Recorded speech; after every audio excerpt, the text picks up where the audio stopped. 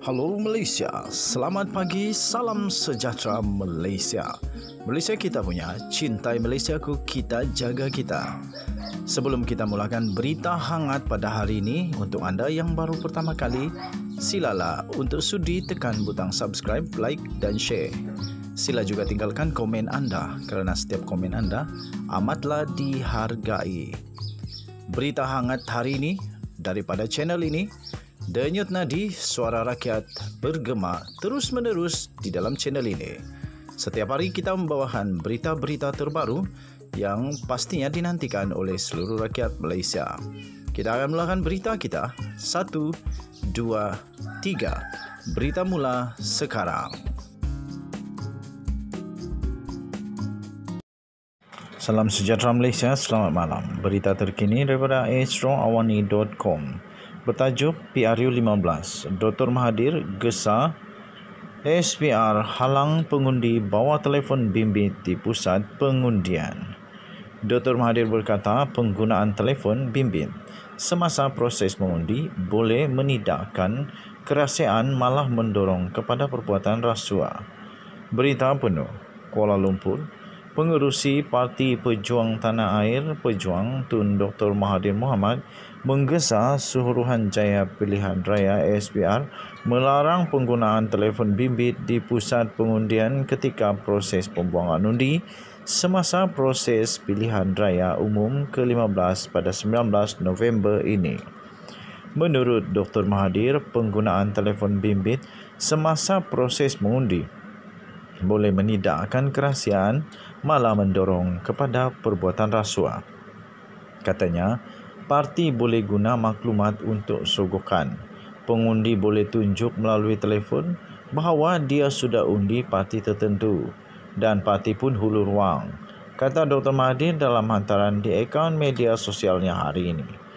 Dalam masa yang sama, Dr. Mahathir mengkritik SPR yang disifatkan beliau masih mempunyai banyak kelemahan dalam menguruskan pilihan raya. Bagaimanapun dakwa beliau, badan itu tidak mempedulikan saranan yang dikemukakannya. Katanya, jika tidak dibetulkan, rasuah dan penipuan akan dilakukan dalam pilihan raya, tegas bekas Perdana Menteri itu lagi. Pada Kamis yang lepas, ASPR telah mengumumkan tarik pengundi untuk pilihan raya umum ke-15 adalah pada 19 November manakala hari penamaan calon pula adalah pada 5 November. Sekian berita, salam sejahtera Malaysia. Malaysia kita punya. Cintai Malaysia aku, kita jaga kita. Jangan lupa tekan butang subscribe, like dan share. Kita jumpa lagi. Bye-bye. Salam sejahtera Malaysia, selamat petang tuan-tuan dan puan yang dihormati sekalian. Denyut nadi suara rakyat bergema di channel ini.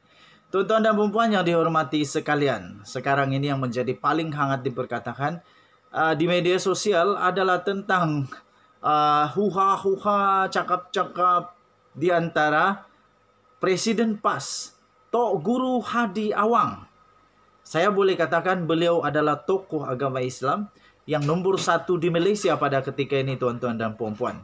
Beliau adalah seorang tokoh agama Islam yang pastinya akan memberikan pendapat yang akan memberikan pengaruh besar kepada pengundi-pengundi Islam Melayu di Malaysia. Apa yang berlaku adalah kemarin, ha, kemarin Tok Guru Hadi Awang memberikan kenyataan yang memang panas. Dia memberikan penjelasan sebab kenapa dia tidak mahu PAS tidak mahu bekerja sama dengan AMNO. Iaitu dia betul-betul menekankan malah dia mengakui bahawa PAS tidak boleh bekerja sama dengan AMNO kerana di dalam AMNO masih keruh. Pemimpin-pemimpinnya tidak mau bertobat. Dan dia kata pemimpin-pemimpin AMNO perasuah.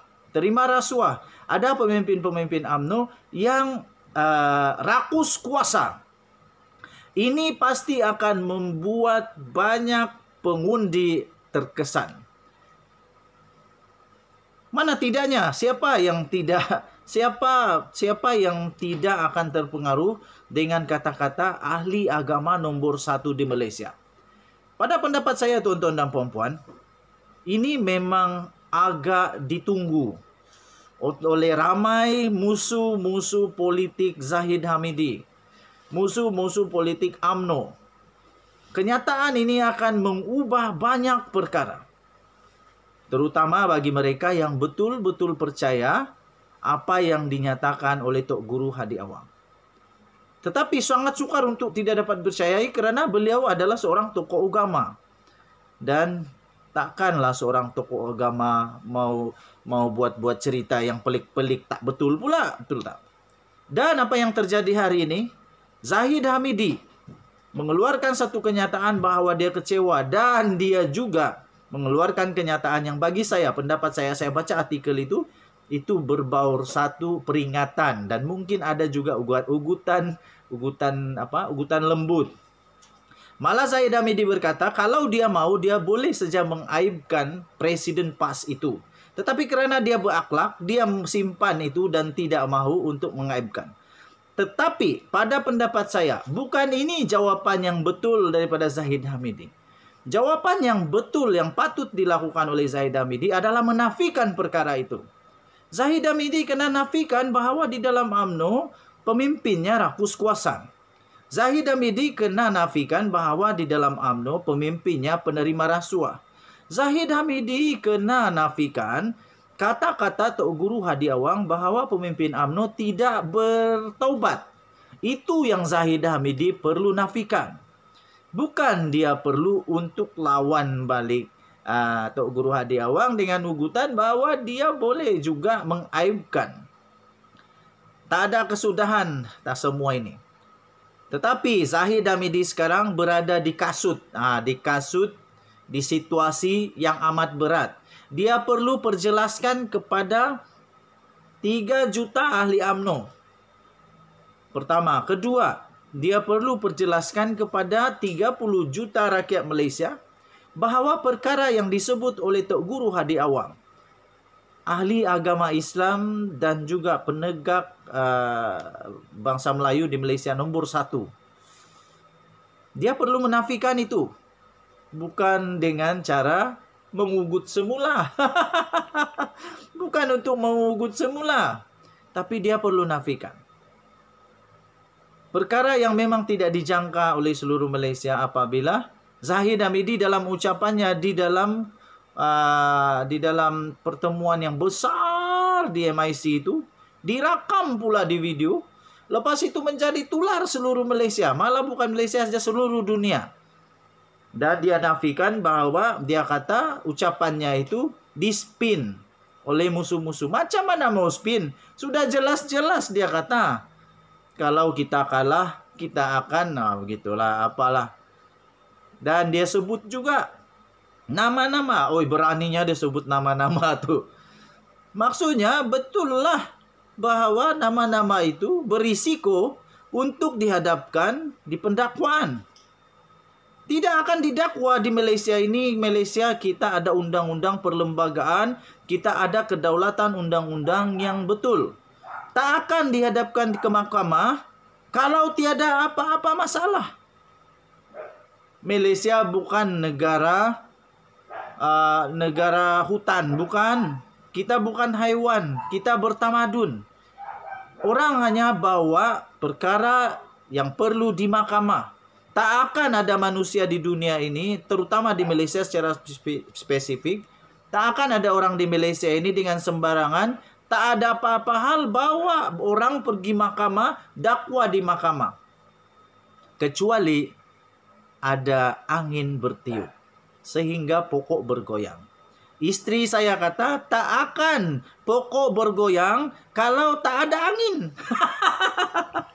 Zahid Hamidi kenapa takut? Kalau PRU, kalau tiada kesalahan. Kecuali memang ada kesalahan yang boleh didakwa. Jadi tuan-tuan dan puan-puan yang dihormati sekalian. Saya terus terang, kedua-dua parti AMNO dan parti PAS saya tidak undi. Kenapa? Kenapa? Sebab belum tahu lagi ada bertanding atau tidak di tempat saya. Kalau ada, ah, terpulang kepada saya lah mau undi siapa. Pasca, UMNO kah, atau apa-apa. Tetapi yang pasti tuan-tuan dan puan tidak dapat dinafikan sama sekali bahawa kenyataan daripada Tok Guru Hadi Awang ini akan mempengaruhi undi Melayu Muslim, Melayu Islam di Malaysia. Ini betul-betul panas. Ha, jadi Zahid Namidi kena nafikan perkara itu. Jangan ugut balik, nafikan. Nafikan bahawa di dalam AMNO tidak ada itu. Tapi macam mana mau nafi? Benda tu memang sudah ada cuma uh, seorang sudah masuk penjara lah. Banduan Najib Razak sudah di penjara 12 tahun 210 juta. Paling best lagi bonus buy one free one. Suami masuk penjara, istri pun masuk penjara. Terbaik. Belum lagi banduan, bakal banduan. Rosma Mansur lagi parah. 10 tahun penjara, tu, uh, 10 tahun penjara, 970 juta denda. Macam mana mau cari, aku pun dah tahu. Okey. Apa pendapat kamu sila komen denyut nadi suara rakyat terus bergema di channel ini. Minta maaf saya tidak banyak video hari ini sebab saya sibuk. kita jumpa lagi, kita jaga kita, jaga keluarga, cintai keluarga, uh, jaga anak-anak, jaga istri dengan baik. Kita jumpa lagi pada berita akan datang. Bye bye.